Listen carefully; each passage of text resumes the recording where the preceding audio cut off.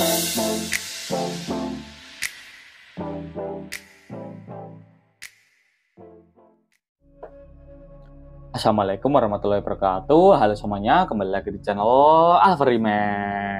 Yap. Oke nih teman-teman, jadi kesempatan kali ini saya ingin bikin tutorial bagaimana cara untuk mengubah atau mengganti bahasa di aplikasi Quora teman-teman ya.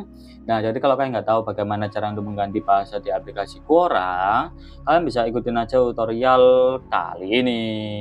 Oke.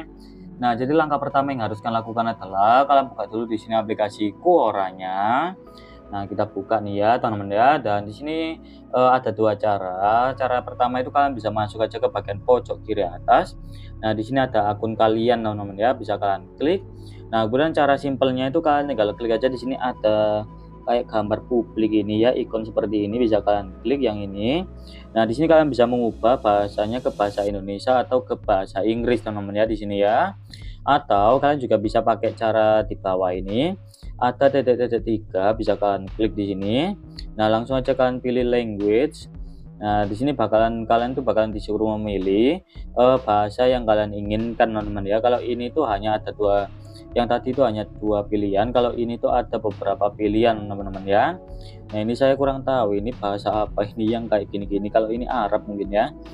Nah jadi kalian bisa pilih aja sendiri sesuai dengan keinginan kalian ya untuk bahasanya ya Nah, jadi begitulah caranya untuk mengubah atau mengganti bahasa di aplikasi Quora.